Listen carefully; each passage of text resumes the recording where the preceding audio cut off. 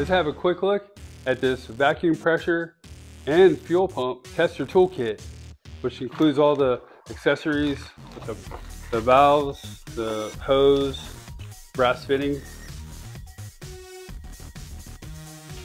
gauge, and it's very detailed, a lot of different readings. I will use this for vacuum pressure testing my M54 with twin turbo inline six engine.